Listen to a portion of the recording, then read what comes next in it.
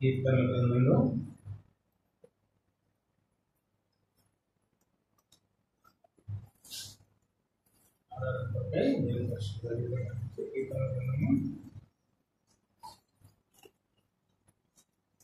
అరవై ఎనిమిదవ కీర్తన పంతొమ్మిది ఇరవై వచనాలను చదువుతున్నా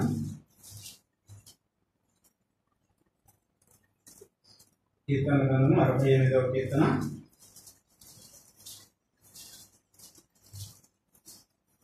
పంతొమ్మిది ఇరవై వచనంలో అందరం కలిసి చదువుకున్నాం. పంతొమ్మిదవ వచనం ఇరవై వచనం అందరము కలిసి చదువుకున్నాం. ప్రభు స్థుతి కాక అనుదినము ఆయన మా భారం వహించుతున్నాడు దేవుడే మాకు రక్షణ అయి ఉన్నాడు దేవుడు మా పక్షమున పూర్ణ రక్షణ కలుగు చేయు దేవుడై ఉన్నాడు. మరణం తప్పించుక ప్రభు అయిన యెహోవా వశం చాలు. చిన్న ప్రార్థన చేసుకుంటాను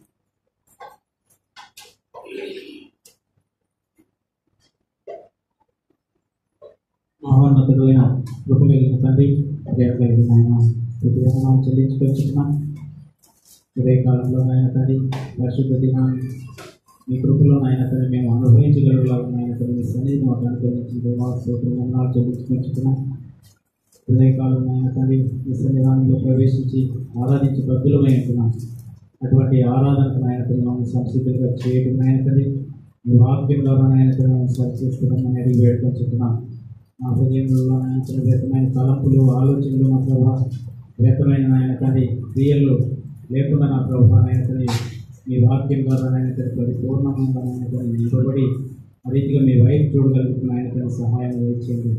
అవును రాజా నాయనతని మీరు మా పట్ల జరిగించిన ప్రతి క్రియను బట్టి ప్రతి చర్యను బట్టి నాయనతో మీరు మా పట్ల జరుగుతున్న నాయన తండ్రి గౌరవమైన భారం కలిగిన నాయనతని ఆ యొక్క నా ప్రభావం కార్యములు బట్టి నాయన మీ సన్నిధానంలో నాయన తండ్రి ఆత్మ శరీరంలో తన ప్రభావ మీ సన్నిధానాన్ని ఆరాధించవలసిన వారంగా ఉంటున్నాం.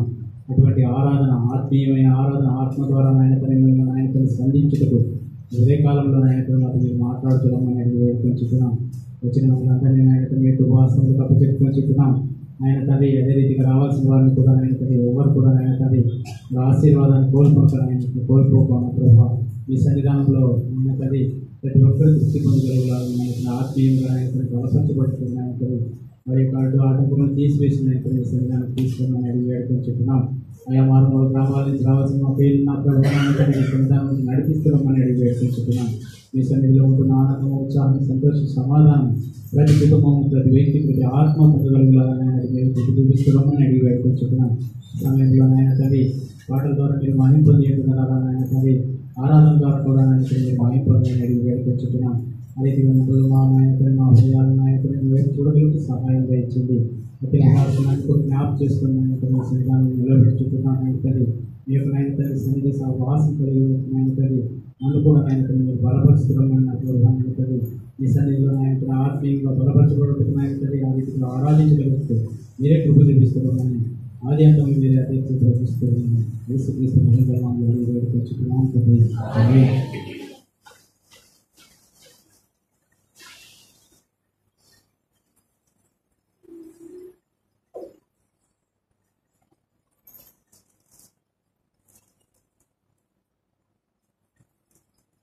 ఇక్కడ మనం చదువుకున్న భాగాన్ని చూసినట్లయితే రాజు ఈ కీర్తన రాస్తూ వస్తుంటున్నాడు. ఈ యొక్క కీర్తన యొక్క ఉద్దేశాన్ని మనం కూరి కీర్తన భాగమంతా ఈ యొక్క ఉద్దేశము ఏమైంటుందంటే దేవుడు తన ప్రజల పట్ల ఉంటున్న ఒక గొప్ప ఉద్దేశాన్ని తెలియజేస్తూ వస్తున్నాడు ఏంటంటే తన ప్రజలైన ఇస్రాయేల్ జనాంగము ఎడారి ప్రాంతంలో అరణ్య ప్రాంతంలో ఎడారి ప్రాంతంలో తన ప్రజలైన వారితో ఎడారి గుండా దేవుడు ప్రయాణిస్తూ వచ్చాడు. ఎడారి గుండా దేవుడు ప్రయాణిస్తూ వచ్చి పరిశుద్ధ పర్వతమైన సినాయి పర్వతం దగ్గరికి ఏడు ఎనిమిది వచ్చినాలు చూసినట్లయితే రాయించబడుతూ వచ్చి చూడండి. శ్వాస విశ్వాస ఇక దేవా నీవు నీ ప్రజల ముందర బయలుదేరినప్పుడు అరణ్యంలో నీ ప్రయాణం చేసినప్పుడు భూమి వణికను దేవుని సన్నిధిని అంతరిక్షము దిగజారను. ఇస్రాయేలు దేవుడు దేవుడి సన్నిధిని అవలి సినాయి ఇచ్చను. దేవుని యొక్క వాక్యము దేవుడు యొక్క ప్రజలైన వారితో కలిసి దేవుడు ప్రయాణం చేసేవాడుగా ఉంటున్నాడు. అంటే ఈ రోజు మనం ఇక్కడ ఉంటున్నామంటే దేవుడు మనతో ఉంటున్నాడు. ఇది సత్యం.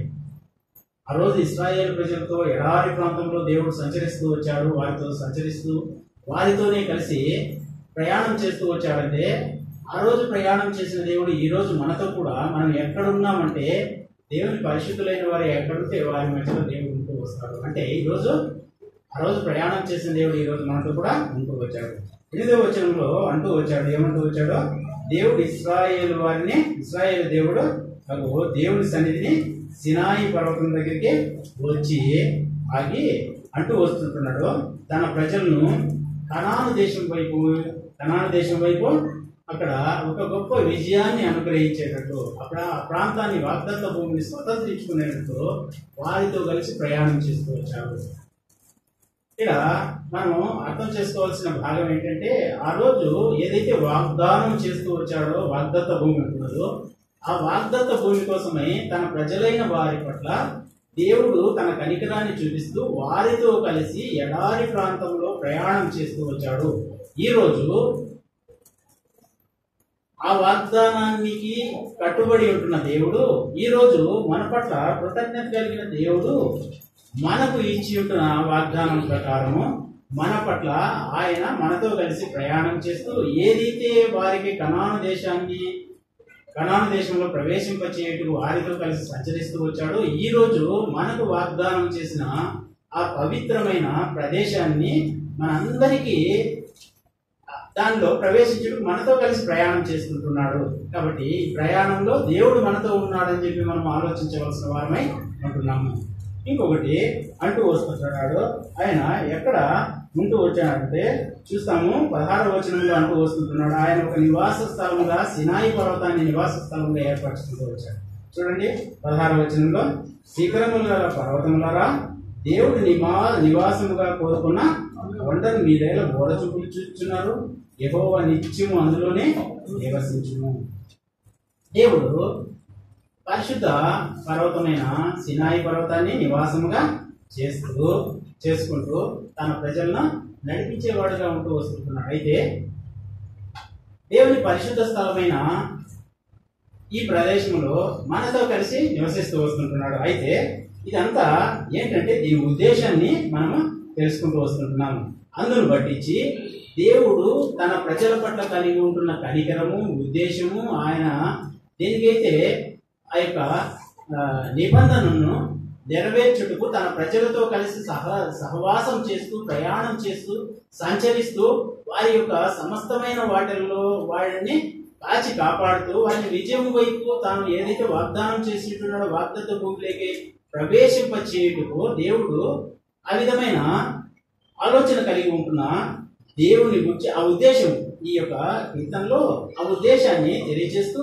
దావీదు రాజు పంతొమ్మిదవ వచనంలో అంటూ వస్తున్నాడు ఈ ఉద్దేశం అంటే తన ప్రజల పట్ల ఆయన కలిగి ఉంటున్న ఒక గొప్ప ఉన్నతమైన ఉద్దేశము తను నెరవేర్చేదానికి వారితో కలిసి ప్రయాణం చేస్తుంటున్న ఈ ప్రయాణంలో ఇంత గొప్పగా దేవుడు ఈ ప్రజలకు సహకరిస్తూ వస్తుంటున్న విధానాన్ని పట్టించి ఆయన అంటూ వస్తుంటున్నాడు. పంతొమ్మిదవ వచనంలో ఏమంటూ వస్తుంటున్నాడు? ప్రభు స్థుతి నందును గాక చూడండి. అయితే ప్రభు స్థుతి నొందాలి. ఎందుకు స్థుతి నందాలంటే తన తన ప్రజల పట్ల కలిగి ఉంటున్న ఒక భారమైన ఉన్నతమైన ఉద్దేశాన్ని పట్టించి. ఆ ఉద్దేశంలో దేవుడు కూడా ప్రయాణిస్తూ ప్రయాసపడుతూ తన ప్రజలకు విజయం చేకూర్చాలని చెప్పి ఆలోచన కలిగి ఉంటున్నాడు. అందుని బట్టి దేవుడు మహిం పొందాలి. దేవుని స్థుతించాలి. ఆ ప్రజలైన వారు దేవుని ఆరాధించాలి మహింపరచాలి స్థుతించాలి. అయితే మన పట్ల అటువంటి భారం కలిగి ఉంటున్నాడు కదా మనతో కలిసి ప్రయాణం చేస్తూ వస్తుంది. నిత్యము కూడా నిత్యము కూడా మనం అనుకుంటూ రావచ్చు నాతో జత లేడేమో అనుకుంటూ రావచ్చు. అయితే వాగ్దానం చేసిన వాడు నిన్న నేడు ఏకరీతిగా ఉంటున్న దేవుడు. నీతో నాతో అందరితో కలిసి సహవాసం చేస్తూ ప్రయాణం చేస్తూ మన యొక్క ప్రయాణ జీవితంలో మనకి ఏదైతే వాగ్దానం చేసి ఉన్నాడో ఆ వాగ్దాన భూమిని సంపూర్ణంగా మనకు స్వతంత్రింపచేయాలని మనతో కలిసి ప్రయాణం చేస్తుంటున్నాడని ప్రతి విశ్వాసి విశ్వాసం ఉంచుకోవాలి తర్వాత భాగాన్ని మనం చూసినట్లయితే ఆ పంతొమ్మిదవ వచనంలోని కింది భాగంలో అంటూ వస్తుంటున్నాడు అనుదినము ఆయన మా భారంను భరించుతున్నాడు అనుదినము ఆయన మా భారంను భరించుతున్నాడు ఏంటి?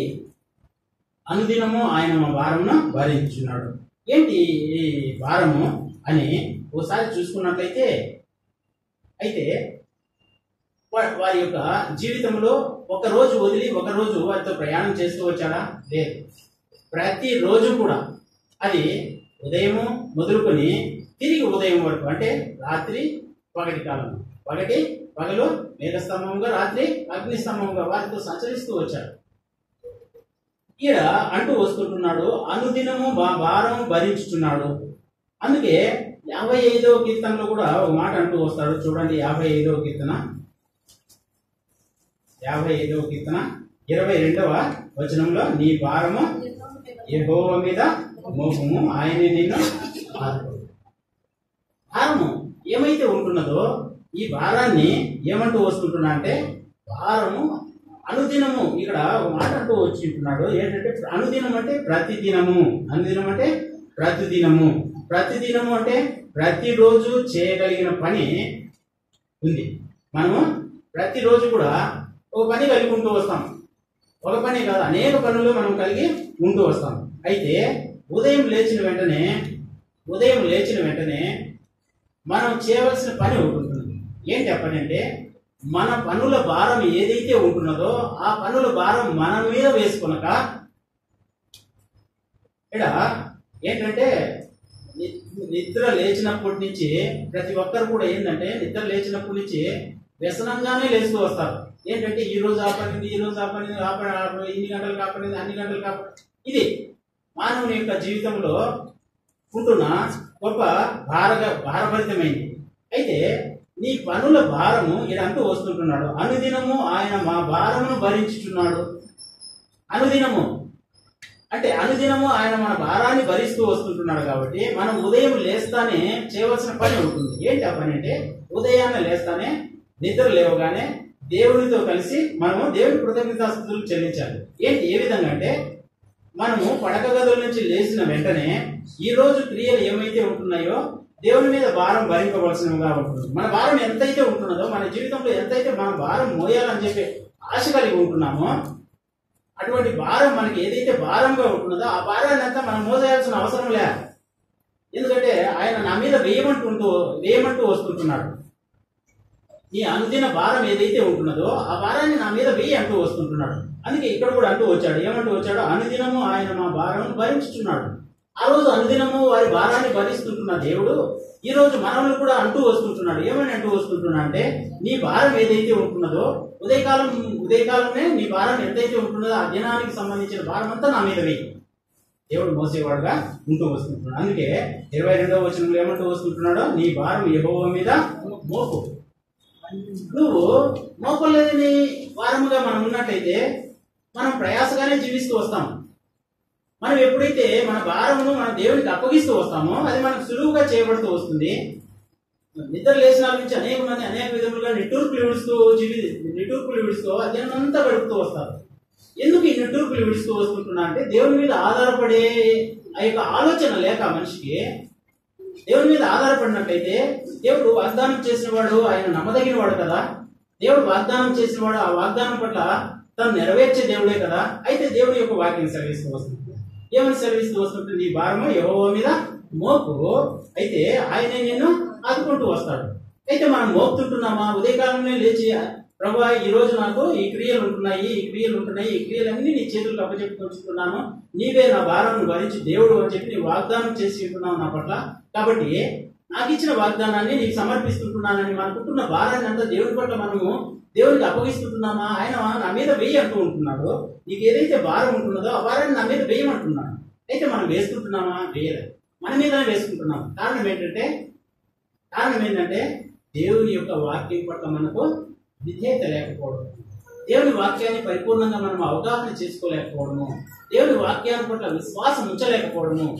దేవుని వాక్యం పట్ల మనం ఎప్పుడైతే విశ్వాసం ఉంచగలుగుతూ వస్తామో అప్పుడు మన భారం అయితే ఏదైతే ఉంటున్నదో దాన్ని ఆయనకు సమర్పించే వారంగా ఉంటూ వస్తాం. ఉదయకాలంలో ఆ రీతి ఆ రీతిగా మనము ప్రతిరోజు దేవుడు మనతో ప్రయాణం చేస్తుంటున్నాడు మన ప్రయాణంలో మన భారాన్ని ఆయన మోస్తుంటున్నాడు ఆయనకు అప్పగించవలసిన వారంగా ఉంటున్నామని చెప్పి మనం జ్ఞాపకం చేసుకొని మన పనుల భారం ఏదైతే ఉంటున్నదో ఆ పనుల భారాన్ని దేవునికి అప్పగించి ఒక రోజు చూడు రెండు రోజులు చూడు మూడు రోజులు చూడు నీ భారం సులువుగా ఉన్నట్లయితే దేవుడికి ప్రతిరోజు అప్పగిస్తురా. ఇది మనము ప్రతిరోజు చేయవలసిన క్రియ అయి ఉంటున్నది. ఇంకో విషయం చూసినట్లయితే విషయ గ్రంథంలో చూడండి.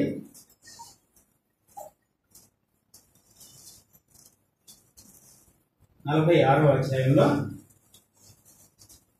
నలభై ఆరో అధ్యాయం రెండవ వచనం అంటూ వస్తాడు చూడండి. మీ మూతలు సొమ్మసిలు పశువులకు భారముగా ఉన్నవి. అవి కృంకుచు కూలుచు నుండి ఆ బరువులు విడిపించుకోలేక తామే చెరలోనికే పోయి ఉన్నవి. చూడండి మనము లోకానుసారంగా ఆలోచిస్తూ వస్తాము. దేవుడు ఆత్మీయంగా బలపరిచేవాడుగా ఉంటూ వస్తుంటున్నాడు. నీ బా నీ పనులు భారం ఎంతుందో అది నా మీద వేయమంటున్నాడు. అయితే మన భారం ఏదైతే ఉంటున్నదో మనల్ని సృజించిన దేవుడి వైపు చూసి సృజించిన దేవుడు నమ్మకమైన వాడు ఆయన వాగ్దానం చేసిన వాడు నా నీ భారాన్ని నా మీద మోపమంటే మనుషుడు ఏం చేసేవాడుగా ఉంటూ వస్తుంటున్నాడంటే మన భారాలన్నీ మన ఇరు పొరుగు వారి మీదనో మన మనల్ని నమ్ముకున్న వారి మీదనో లేకపోతే మన మీదనో మనం వేసుకునే వారంగా ఉంటూ వస్తుంటున్నాం. ఇటు అంటూ వస్తుంటున్నాడు మీ మూతలు సొమసిలి సొమసిలు పశువులకు భారముగా ఉన్నవి. చూడండి మన మూతలు పశువుల మీద వేస్తే సొమ్మసిల్లేటివిగా ఉంటున్నాయి. వాటికి భారముగా ఉంటున్నాయి. మన భారాన్ని తీసుకుని పోయి వాటికి అప్పగించే వాడిగా ఉంటున్నాం. ఇంకా అంటూ వస్తుంటున్నాం అవి పుంగుచు కూలుచు ఉండి ఆ బరువులను విడిపించుకోలేక తామే చెరలోనికి పోయి ఉన్నవి.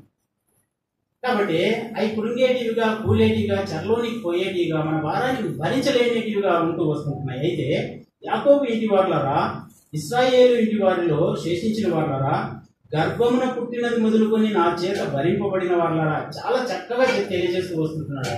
ఈ వారము నీవు గర్భమున పుట్టినది మొదలుకొని నా చేత భరింపబడుచుంటున్నావు. ఇది మనం గుర్తిస్తుంటున్నామా? తల్లి గర్భం నుంచి మొదలుకొని దేవుని చేత మనము భరింపబడుచుంటున్నాము. భరింపబడుచుంటున్న మనము దేవుని మీద ఆధారపడక మనము ఇతరుల మీద ఆధారపడము లేదంటే మన మీద మనము ఆధారపడము తెలుసుకుంటూ వస్తుంటున్నాము. ఇంకా అంటూ వస్తుంటున్నాడు తల్లి ఒడిలో కూర్చుండని మొదలుకొని నేను చంక పెట్టుకునే వాళ్ళరా నా మాట ఆలోచించుడి ముదిమి వచ్చే వరకు నేను ఎత్తుకుని వాడనా? నేనే. తల వెంట్రుకలు నెరే వరకు నేను ఎత్తుకుని వాడనా? నేనే. నేను చేసి ఉన్నాను చంక పెట్టుకుని వాడను నేనే. నేను ఎత్తుకొని రక్షించి వాడనా? కాబట్టి దేవుని యొక్క వాక్యము సెలవిస్తూ వస్తుంటున్నది నీ ప్రతి అవసరమును ప్రతి భారమును ప్రతిది కూడా నేను తీసివేసేవాడిగా ఉంటున్నాను.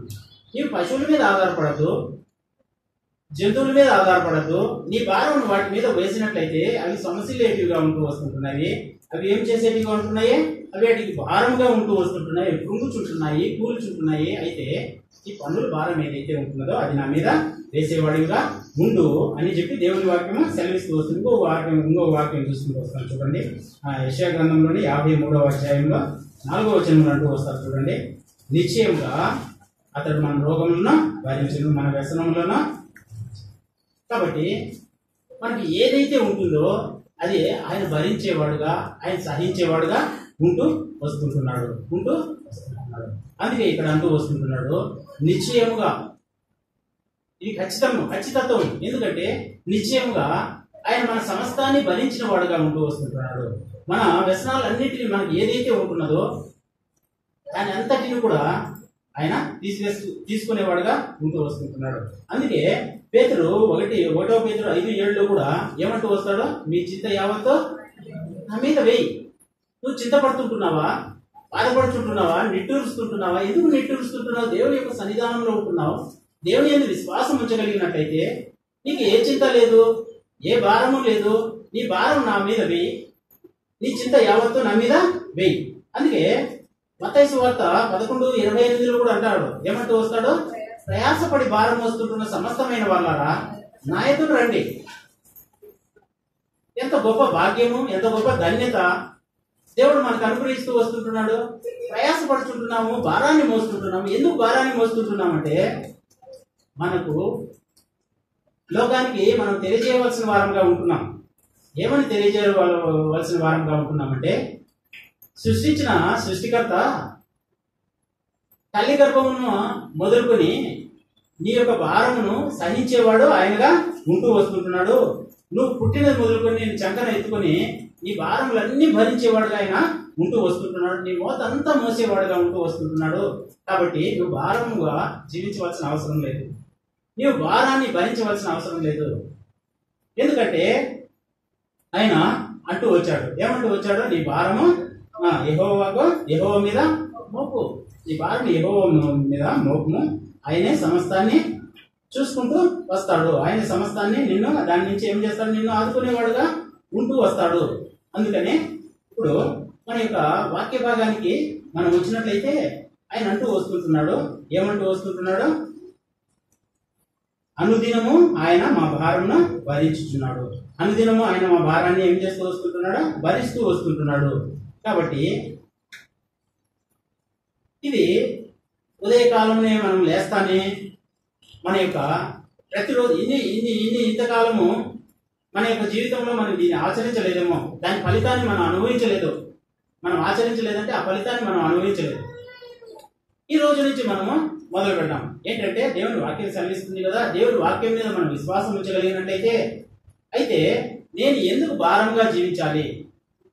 ఎందుకు వ్యసన పడుతూ జీవించాలి? నా వ్యసనములన్నీ ఆయన భరిస్తూ వచ్చాడు కదా. నాకుంటున్న భారమంతా ఆయన తీసుకుంటూ వస్తుంటున్నాడు కదా. అయితే నా భారంను యహోవ మీద మోపాలి. యహోవ మీద మోపాలంటే ఉదయకాలంలో మనం సమర్పించుకుంటూ రావాలి. ఏ విధంగా అంటే అయ్యా నాకు ఈ రోజు ఈ కార్యములు ఉంటున్నాయి. ఈ భారం ఉంటున్నది. ఈ భారం అంతా నేను నీ మీద వేసుకుంటున్నాను అని చెప్పి ఆ రీతిగా మనము ఉంటూ రావాలి. అందుకే దావీదు రాజు కూడా అంటూ వచ్చాడు. ఏంటంటే ఆ దేవుని ప్రజలైన వారి పట్ల దేవుడు కలిగి ఉంటున్న గొప్ప ఉద్దేశాలను బట్టి ఆయన వారి ప్రయాణంలో ఆయన కూడా వారితో కలిసి సంచరిస్తూ ప్రయాణం చేస్తూ జీవించుకున్న కాలాన్ని పట్టించి ఆయన వారికి ఇచ్చిన గొప్ప బహుమానము విజయాన్ని పట్టించి ఆయన అంటూ వస్తుంటున్నాడు. ప్రభు స్థుతి నందును గాక. ఎందుకు స్థుతి నందును గాక అంటే అనుదినము ఆయన మా భారమును భరించి ఉన్నాడు. ప్రతిదినం కూడా ఆయన మా భారాన్ని భరిస్తూ ఉంటున్నాడు. రెండవదిగా ఇంకా అంటూ వస్తుంటున్నాడు దేవుడే మా రక్షణకర్తయే ఉన్నాడు. ఇక్కడ ఇంకొక మాట మనం చూసినట్లయితే ఇరవై వచనంలో అంటూ వస్తుంటున్నాడు ఏమంటూ వస్తుంటున్నాడు? దేవుడు మా పక్షంన పరిపూర్ణ రక్షణ కలుగజేయ దేవుడై ఉన్నాడు. ఇంకా ఈ కింద భాగంలో అంటూ వస్తుంటున్నాడు మరణము తప్పించుక రబ్బైని యెహోవా ఇక్కడ మనము ఒకటి జ్ఞాపకం చేసుకోవాలి. మరణము తప్పించుట ప్రభైన యెహోవా వశము. అయితే ప్రతి భారం నుంచి తప్పించుకుంటున్న దేవుడు అంత కృప కలిగిన దేవుడు అంత కరుణా వాత్సల్యములు కలిగిన దేవుడు గొప్ప విడుదల ఆ యొక్క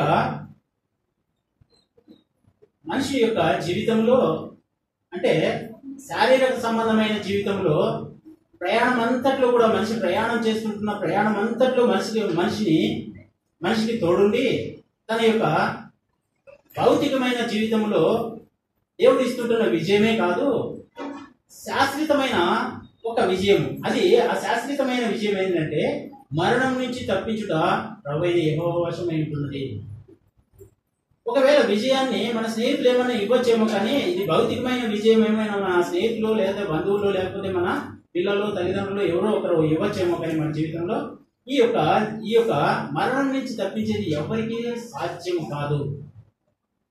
ఇది ఏంటంటే ఏంటి? ప్రతి మనుషుడు కూడా మరణించేవాడే కదా అంటే ఇది భౌతికమైనది కాదు.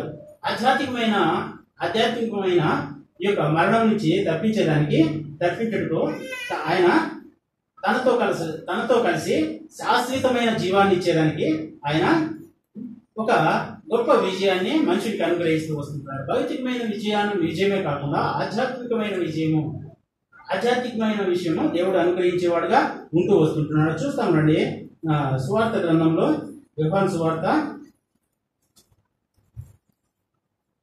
ఐదవ అధ్యాయంలో ఇరవై నాలుగవ వచనంలో అంటూ వస్తాడు. చూడండి. నా మాట విని నన్ను పంపిన వాణి ఏదో విశ్వాసం ఉంచేవాడు నిత్య జీవము అయితే ఈ ఆధ్యాత్మికమైన మరణం నుంచి మనం తప్పించ తప్పించబడాలి. ఇది గొప్ప విజయము దేవుడు అనుగ్రహిస్తూ వస్తుంటున్నాడు.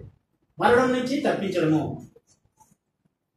మరణం నుంచి తప్పించబడడం అంటే ఇది ఇక్కడ అంటూ వస్తుంటున్నాడు. ఏమంటూ వస్తుంటున్నాడు? నా మాట విని నన్ను పంపిన వాని ఎందుకు విశ్వాసం ఉంచువాడు మనం వచ్చాం కదా ఎవరైతే దేవుని మాట వింటూ వస్తారో వాళ్ళకు విజయం ఉంటున్నది. దేవుని మాట విన్న వారికి విజయం ఎక్కడా లేదు. ఒకవేళ ఇందాక మనం చెప్పుకున్నట్లు భౌతికపరమైన విజయం కావాలంటే మన స్నేహితుల ద్వారానో బంధువుల ద్వారానో తల్లిదండ్రులు పిల్లలు ఎవరో ఒకరు ఒక చిన్న విజయం రావచ్చేమో కానీ ఆధ్యాత్మికమైన విషయము ఆధ్యాత్మికమైన విజయము అంటే మరణం నుంచి తప్పించుటకు ఎవరికి సాధ్యం కాదు. ఇది అసాధ్యమైనది. ఈ అసాధ్యమైనది సాధ్యం కావాలంటే సృష్టికర్తలో మనం సృష్టికర్త యొక్క మాట వినాలి. అందుకే ఇక్కడ అంటూ వస్తుంటున్నాడు. ఏమంటూ వస్తుంటున్నాడో? నా మాట విని నన్ను పంపిన వాని ఎందుకు విశ్వాసం ఎవరైతే దేవుని మాట విని ఆయన ఎందుకు విశ్వాసం ఉంచుకోగలుగుతూ వస్తారో వారందరూ కూడా నిత్య జీవంలో ప్రవేశించుటకు దేవుడు ఒక గొప్ప వరాన్ని అనుగ్రహిస్తూ వస్తుంటాడు. ఇంకో ఇంకో పదకొండవ అధ్యాయం చూడండి. యోగాన్స్ వార్త పదకొండవ అధ్యాయము ఇరవై ఐదవ వచనంలో అంటూ వస్తాడు. అందుకు యేసు ఏమంటూ వస్తుంటున్నాడు?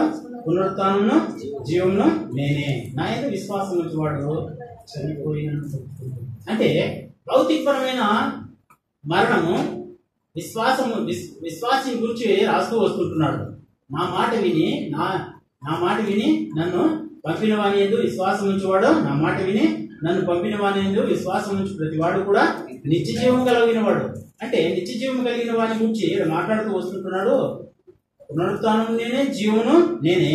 అయితే విశ్వాసం ఉంచేవాడు భౌతికంగా చనిపోయినా కానీ వాడు తిరిగి లేస్తాడు. అంటే నిత్య జీవానికి వారసుడు అవుతాడు విశ్వాసం ఉంచగలిగిన వాడే విశ్వాసం లేనివాడు దీంట్లో పాలు లేదు.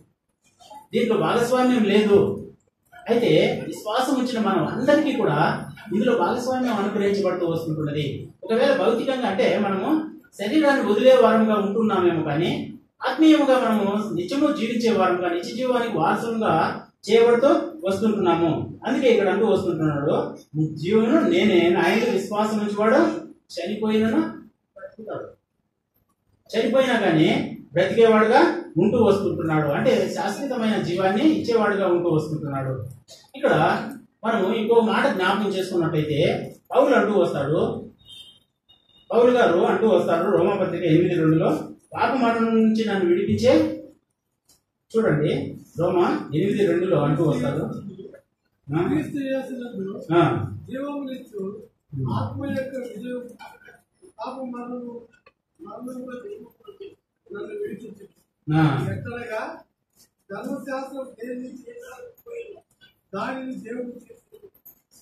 కాబట్టి ఇక్కడ చాలా చక్కని దీవెన. ఏంటంటే పాప మరణముల నియమం నుండి నన్ను విడిపించను. పాప మరణముల నియమం నుండి నన్ను విడిపించను. ఏంటి అంటే ప్రభుత్వ యేసుక్రీస్తు యొక్క మాట ఎవరైతే వింటూ వస్తారో అందుకే ఇక్కడ రాయించబడుతూ వచ్చింది క్రీస్తు యేసునందు జీవమిచ్చు ఆత్మ యొక్క నియమము. ప్రభువైన యేసుక్రీస్తునందు జీవం ఇచ్చే ఒక నియమము అది ఏంటంటే పాప మరణముల నియమము నుండి నన్ను విడిపించింది. ఆయన తెలియజేస్తూ వస్తుంటున్నాడు పాప మరణం నుంచి నన్ను విడిపిస్తూ వచ్చింది. అందుకే పదహైదవ వచనంలో కూడా ఒక మాట మాట్లాడుతూ వస్తుంటున్నాడు. పదహైదవ అధ్యాయంలో చూడండి.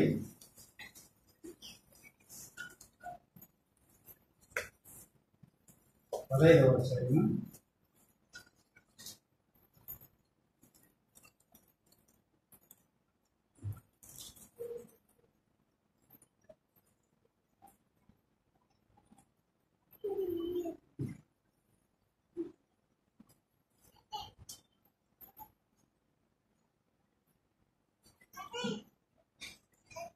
పద పదహైదవ అధ్యాయంలో ఒక మాట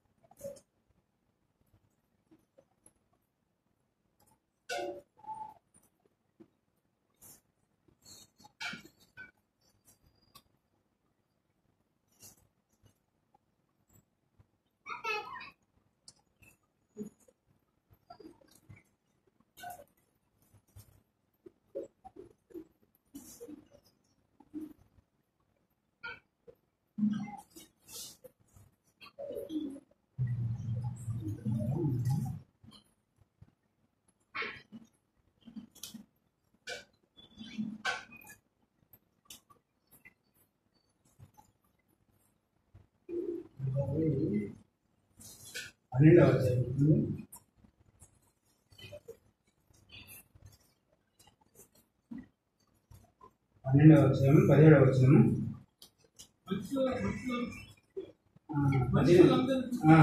పద్దెనిమిది వచ్చిన శక్యమైతే మీ చేతనైనంత మటుకు సమస్త మనుషులతో సమాధానంగా ఉండి ప్రియులారా మీకు మీరే పగ తీర్చుకుని దేవుని ఉగ్రతతో చూడండి అంటే ఇక్కడ ఇరవై ఒకటో వచ్చిన అంటూ వస్తుంటున్నాడు.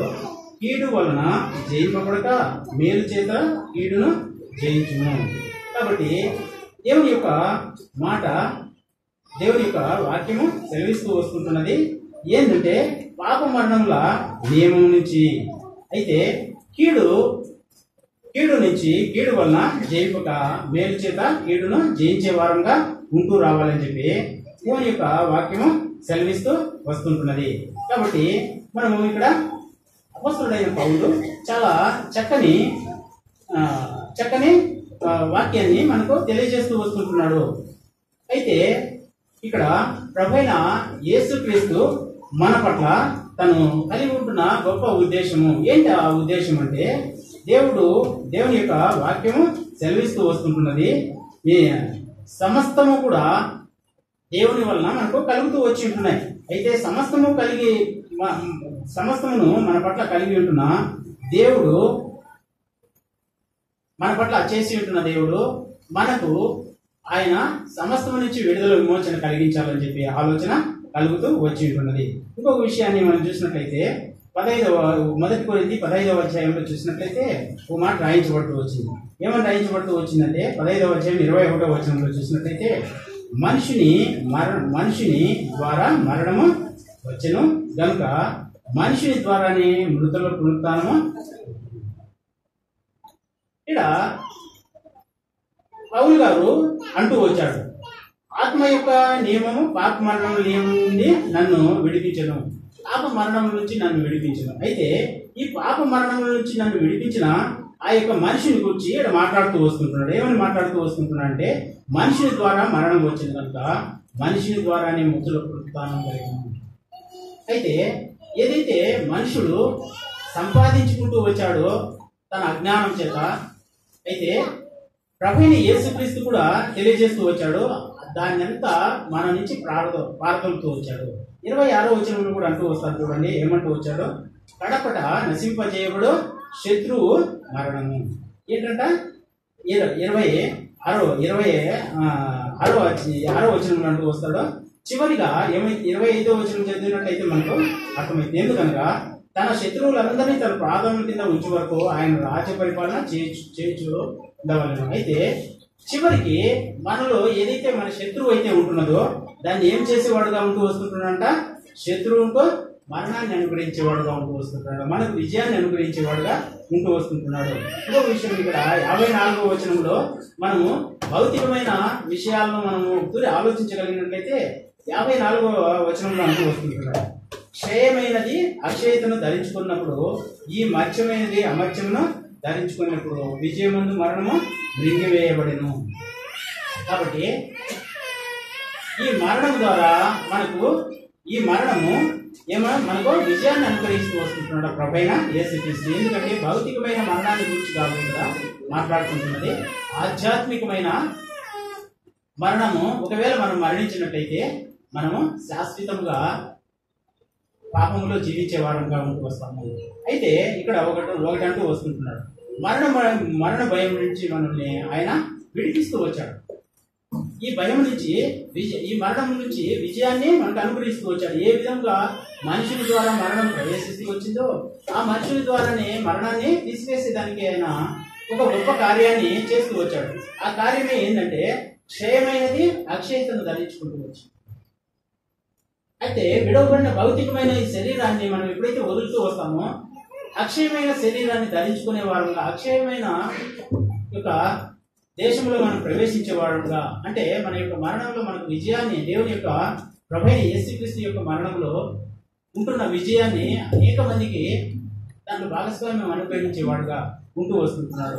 అందుకే హెబ్రిల్ రాస్తూ రెండు పద్నాలుగులో కూడా ఒక మాట అంటూ వస్తారు. ఏమంటూ వస్తారు? చూస్తాం రండి. హెబ్రి రెండు పద్నాలుగు. చూడండి ఇలా అంటూ వస్తాడు. కాబట్టి పిల్లలు రక్త మాంసములు గలవారైనందున ఆ ప్రకారమే మరణం యొక్క బలము గలవారిని అనగా అపవాదిని మరణం ద్వారా నశింపజేయకు జీవితకాలం అంతా మరణ భయం చేత దాస్యత్వంలో లోబడిన వారిని విడిపించుకుని ఆయన రక్త మాంసంలో పారివాడైంది జీవితకాలం అంతా దేనికైతే భయపడుతూ వస్తుంటున్నాడో దాని నుంచి విడిపించడానికి ఆయన దీంట్లో భాగస్వామ్యం తీసుకుంటూ వచ్చాడు. అంటే ఇక్కడ ఆయన భాగస్వామ్యం ఏ విధంగా ఉంటూ వచ్చిందో ఆనాడు ఎడారి ప్రాంతంలో తండ్రి అయిన దేవుడు ఇస్రాయేలు వారిని ఆ సినాయి పర్వతాన్ని పరిశుద్ధ పర్వతాన్ని ఆసరాగా చేసుకుని ఎడారి ప్రాంతం అంతా వారితో కలిసి సంచరిస్తూ వచ్చాడు. ప్రతి దినము వారితో కలిసి సంచరిస్తూ వచ్చాడు. సంచరించిన దేవుడు ఆ కణాను దేశంలో ప్రవేశింప చేయుటకు అంటే అక్కడ ఉంటున్న వారందరినీ ఆ ప్రదేశం నుంచి వెళ్ళగొట్టి వీరికి దాంట్లో భాగస్వామ్యం ఇస్తూ వచ్చాడు. వాగ్దానం చేసిన భూమిని స్వతంత్రింప చేసుకున్నందుకు వారితో కలిసి ప్రయాణం చేస్తూ వచ్చాడు. ప్రయాణం చేస్తూ వచ్చిన దేవుడు ఈ రోజు ఏమన్నా మర్చిపోయినాడా మనల్ని? మర్చిపోలేదు. ఈ రోజు ఏ మనుషుడైతే మనాన్ని మానవులందరికీ అనుగ్రహింప చేస్తూ వచ్చాడో అటువంటి మానవ శరీరాన్ని ధరించుకొని ఈ రోజు మనతో ప్రయాణం చేస్తూ వస్తుంటున్నాడు. మనతో ప్రయాణం చేస్తూ సంచరిస్తూ ఆయన ఈ రోజు నిన్న నేడు ఏకరీతిగా ఉంటున్న దేవుడు ఆ రోజు ఈ రోజు ఎప్పుడు కూడా మనతో ఉంటున్న దేవుడు. ఆయన మనతో సంచరిస్తూ ఆయన చేసిన కార్యం ఏంటంటే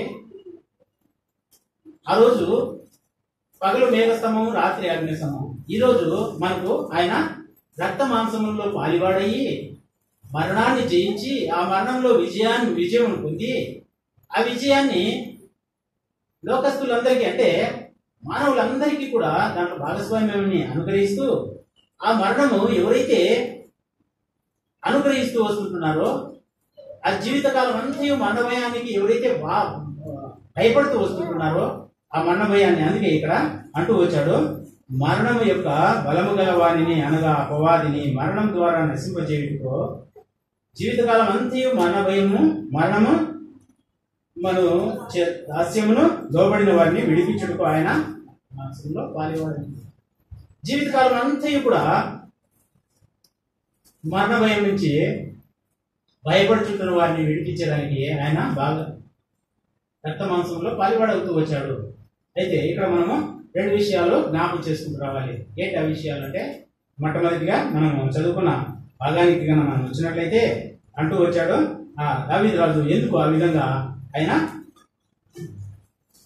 ఎందుకు ఆ విధంగా స్థుతించమంటూ వచ్చారంటే పంతొమ్మిది వచ్చిన ప్రభు స్థుతి కాకంటే మనం మొట్టమొదటిగా చేయవలసింది ఏంటంటే అనుదినము మనం ఏదైతే ప్రయాస అనుకుంటున్నామో మన జీవితంలో ఏదైతే భారం అనుకుంటున్నామో ఏదైతే భారభరితమైన జీవితాన్ని నేను భరిస్తుంటున్నాను అనుకుంటున్నామో ఆ భారాన్ని దేవునికి అప్పగించవలసిన వారుగా ఉంటున్నాం.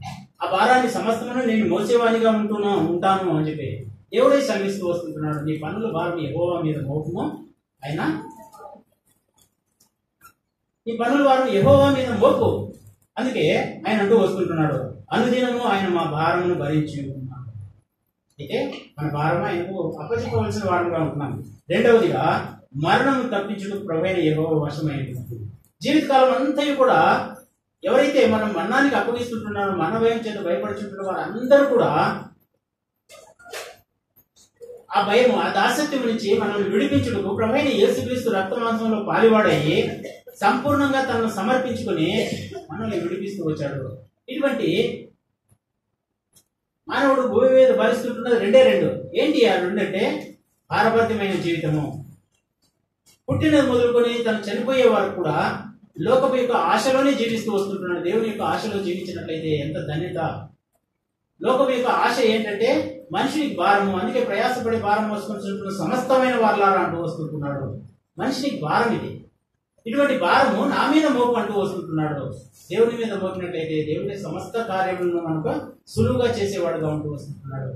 రెండవదిగా ఆయన మరణాన్ని తప్పించేదాని కొరకై మరణము మానవుని ద్వారా ప్రవేశించింది కాబట్టి ఆ మానవుడే ఏం చేస్తూ వచ్చాడంటే రక్త మాంసంలో పాలివాడయ్యి ఆ మరణంలో మనకు విజయాన్ని అనుగ్రహిస్తూ వచ్చాడు. దీన్ని బట్టించి మనము దేవుని యొక్క సన్నిధానంలో మనము ఆరాధించవలసిన వారంగా ఉంటున్నాం స్థుతించవలసిన వారంగా ఉంటున్నాం అటువంటి గొప్ప కృప ప్రభైన యేసుక్రీస్తులో మనకు అనుగ్రహించబడుతూ వస్తుంటున్నది. అయితే మనకి ఏదైతే భారం ఉంటుందో ఆ భారాన్ని దేవుడి దేవుడి మీద వేసి మనము మన జీవితాన్ని సులువు చేసుకున్నట్లయితే మన సమస్తమైన భారం ఆయన తీసివేసి